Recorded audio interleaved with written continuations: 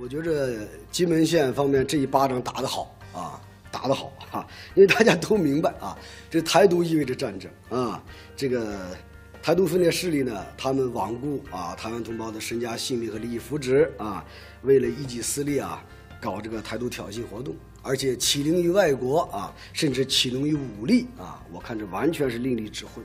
啊。那么金门啊，呃，曾经是啊所谓的啊这个